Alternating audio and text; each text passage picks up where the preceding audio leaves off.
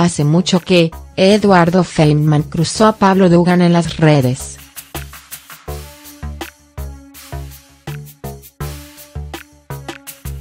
Eduardo Feynman se expresó en contra de los dichos de su colega, Pablo Dugan, quien opinó sobre la muerte del fiscal Alberto Nisman, dejando en claro que se trató de un suicidio lo cual habría beneficiado al actual presidente, Mauricio Macri.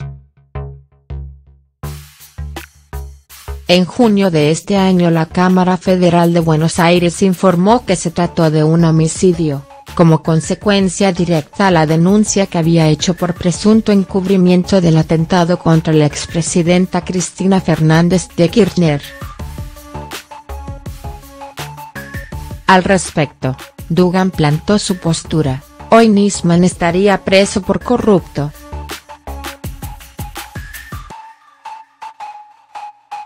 Su suicidio fue usado para que hoy Macri sea presidente.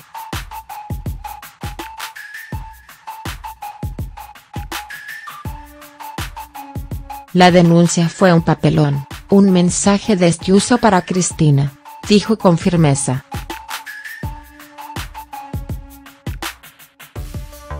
Tomando las declaraciones textuales del panelista de involucrados, su colega retuiteó la cita y opinó al respecto con rabia, hace mucho que no leo una pelota. Tan grande, escribió a través de la red social.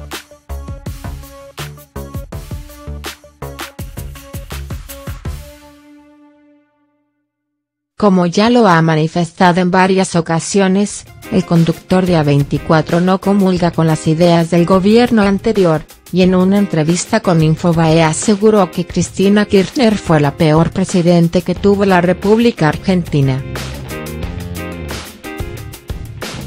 Siempre picante, a veces con ironía, y otras con mucho humor, el periodista se anima a enfrentar a quien sea necesario.